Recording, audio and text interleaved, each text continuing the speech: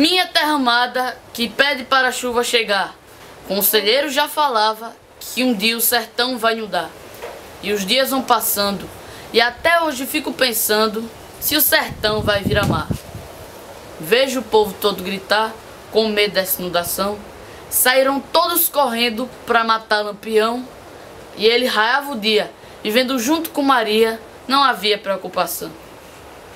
A história de Vigulino, que foi um cangaceiro, quando subia no seu cavalo, virava um aventureiro. Está guardado no céu e escrito em cordel para o povo brasileiro.